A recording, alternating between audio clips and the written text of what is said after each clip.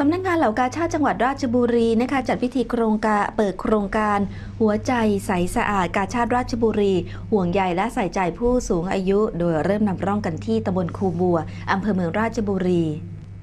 ที่สถานีอนามัยตำบลคูบัวตำบลคูบัวอำเภอเมืองราชบุรี นายสุเทพโกมลพมรผู้ว่าราชการจังหวัด พร้อมด้วยนางกรองการโกมลพมร นายกเหล่ากาชาติจังหวัด นายนรงพลเอียด นายนรงค์คลองชนรองผู้ว่าราชการจังหวัดราชบุรี ร่วมพิธีเปิดโครงการหัวใจใสสะอาด กาชาติราชบุรี ห่วงใยและใส่ใจผู้สูงอายุ เพื่อถวายเป็นพระราชกุศลเฉลิมพระเกียรติพระบาทสมเด็จพระเจ้าอยู่หัว เนื่องในโอกาสเฉลิมพระชนมพรรษา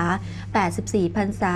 และเพื่อเป็นการบูรณาการยุททธศาสตร์ ของสภากาชาติไทย และแผนยุทธศาสตร์ของเหล่ากาชาติจังหวัด โดยสำนักโดยจังหวัดราชบุรี มีกลุ่มเป้าหมาย คือผู้สูงอายุที่ด้อยโอกาส ยากไร้หรือผู้พิการ และมีส่วนร่วมในการสืบสาร ถ่ายทอดภูมิปัญญาท้องถิ่น โดยโครงการนี้จะดำเนินการครบทั้ง 10อำเภอ ทั้งสิ้น 1,500 ชุมชนสำหรับอำเภอเมืองราชบุรีได้จัดให้ตำบลคูบัวเป็นตำบลนำร่องแห่งแรก และจัดให้มีกิจกรรมคือการตรวจวัดสายตาประกอบแว่น การให้บริการแว่นตาแก่ผู้สูงอายุ การถ่ายทอดภูมิปัญญาท้องถิ่น การมอบเครื่องอุปโภคบริโภค การตรวจสุขภาพผู้สูงอายุ จากโรงพยาบาลราชบุรี เพื่อคุณภาพชีวิตที่ดีขึ้น รวมถึงยังเป็นการเพิ่มการมีส่วนร่วมในการสืบสารและถ่ายทอดภูมิปัญญาท้องถิ่น ให้ผู้สูงอายุเกิดความรู้สึกว่า ตัวเองยังมีคุณค่าทางสังคม มีสุขภาพจิตที่เข้มแข็งและดำรงชีวิตอย่างมีความสุขต่อไป